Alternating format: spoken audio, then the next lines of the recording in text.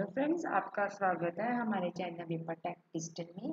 आज की इस वीडियो में करने वाले हैं कमेंट्स इन सीएसएस तो पहले क्या करते हैं, अपने यहाँ पे एचटीएमएल के कोड के अंदर, मैं यहाँ पे एक हेडिंग बना रही हूँ एच वन यहाँ पर लिख देते हैं फ़र्स्ट हेडिंग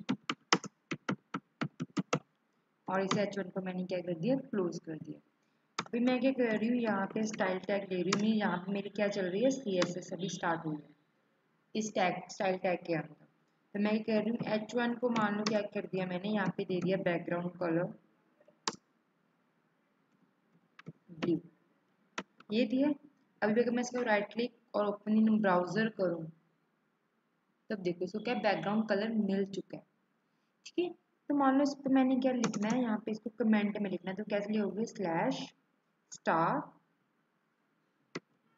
उसके बाद क्या लिखोगे? Background colour blue background colour blue ठीक और उसके बाद इसको क्लोज कैसे करोगे? वैसे स्टार और स्लैश तो ये क्या हुआ? हमारा कमेंट हो चुका है। बैकग्राउंड की स्पेलिंग अगर मैं अभी इसको क्लिक और अपनी ब्राउज़र करूँ तभी नहीं दिखेगा आउटपुट में बैकग्राउंड कलर ठीक है? तो ये थे हमारे सी के अंदर कमेंट अभी अगर मैं क्या करूँ, इसकी अभी लगाऊँ एक्सटर्नल फ़ाइल में, जहाँ से इसको कट कर रही हूँ, यहाँ पे क्या करूँगी सी एस एस को लिंक देने वाली। तो मैंने क्या किया सेम फोल्डर के अंदर क्या कर रही हूँ सी एस एस की फ़ाइल बना रही हूँ।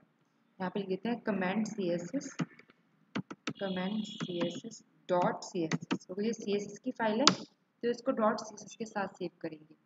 और इस कमेंट वाली फ़ाइल में क्या कर रही हूँ, इसका लिंक दे रही हूँ। तो यहाँ इसका क्या नेम है comment C S S dot C S इस फ़ाइल को मैंने क्या किया? लिंक कर दिया।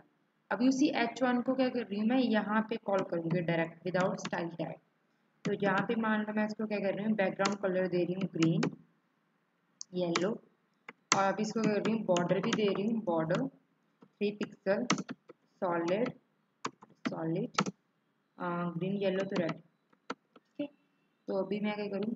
यहाँ पे इसको सेव करूँ।